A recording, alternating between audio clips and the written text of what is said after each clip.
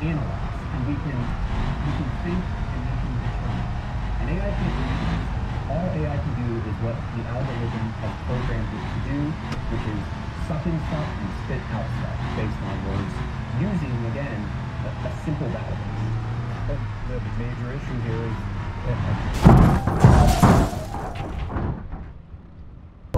Did you know somebody actually?